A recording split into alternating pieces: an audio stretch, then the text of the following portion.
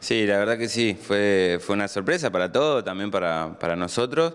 Eh, creo que nada, que son... Era un ciclo en el cual ya estaba un poco cumplido, había que, cerrar y, salir a buscar cosas nuevas, una nueva cabeza, una nueva mentalidad, nuevos aires y, bueno, y recargar energía y poder, poder salir a, disfrutar de lo que a uno más le gusta hacer. Para pasar en limpio, bueno, ya nos tendrás la asistencia del CEO Rally Team en, en carrera, en la preparación del auto. ¿Quién va a hacerse cargo de esto ahora?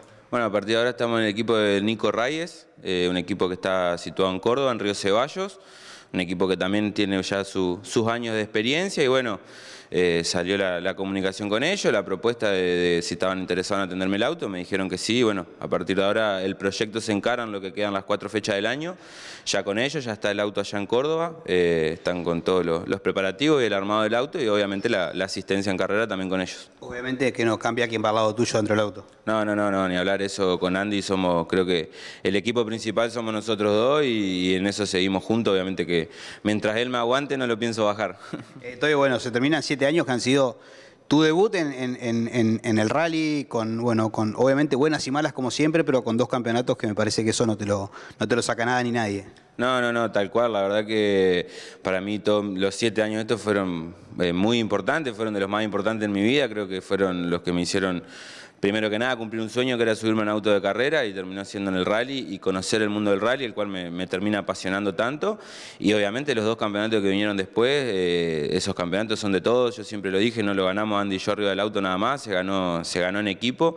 Así que por ese lado es un agradecimiento eterno eh, a, todos ellos, a toda la familia, a todo el equipo, a todo el profesionalismo que siempre se tuvo y a poder haber disfrutado de eso, que como te digo, fueron sueños cumplidos de mi vida.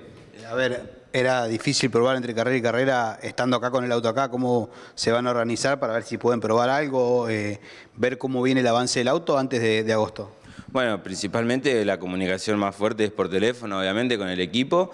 Eh, y después, bueno, está la idea de si dan los tiempos más que nada, eh, organizar una prueba, tendré que organizarme yo, obviamente, y, tendré la dificultad de la distancia, que es viajar hasta Córdoba para, para así poder hacer, hacer los test.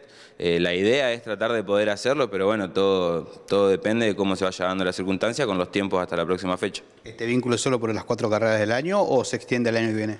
No, por lo pronto obviamente lo que se cerró es por estas cuatro carreras del año, ahí veremos, pero sí, lo más probable es que si, si, acompaña todo y si nos sentimos cómodos, eh, la idea va a, ser, va a ser seguir con ellos.